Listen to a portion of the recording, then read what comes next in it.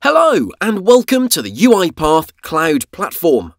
The UiPath Cloud offering aims to drive the enterprise segment to a cloud-first automation future by making it easy to deploy, operate and scale your robotic factory. To begin, let's quickly have a look at how your automation journey can start right away. As you might have guessed already, you need UiPath Studio before everything.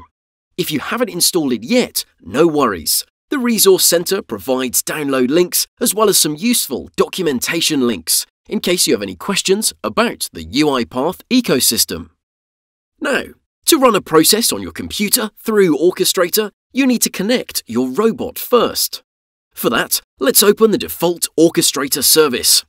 What you see is the Services page. This is where you can manage your Orchestrator tenants, Feel free to add as many as you need for each department in your company that automates processes. There is only one tenant at the moment, so click it to open Orchestrator. Next, you need a machine. For this, go to the Machines page and add a standard one.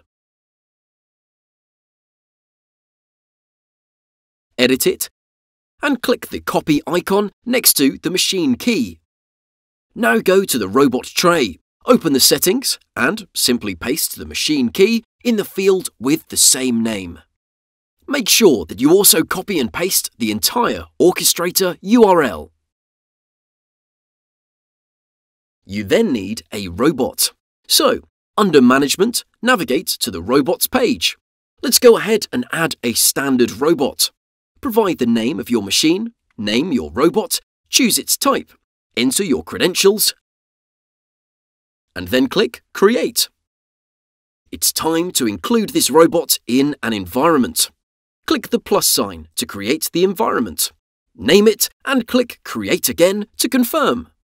At this moment, you just need to select the robot and update the environment. And you're all set and ready to run any process. Let's say that you've already created a workflow in Studio. To upload it to Orchestrator, you need to publish it. The project should be available on the Packages page.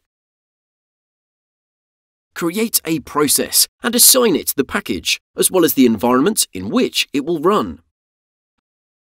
For the final step, under Monitoring, go to Jobs, click Start, select the previously created process and the robot, and click Start again. Moving on. One of the main benefits of the UiPath Cloud Platform is the possibility to collaborate with your peers on your automation processes. To bring them on board, open the Users page, click the Invite Users button, fill in their details, and select their roles. Working together with your team is easier than ever. Now that you've started automating with your colleagues, feel free to reach out to us if you need more robotic power, and we will provide as many additional licenses as you want. The Licenses page is there for you to request more licenses. Simply click Request More Licenses and enter the number of licenses that you need for each type of robot or service. You can also view the license usage details on the dashboard.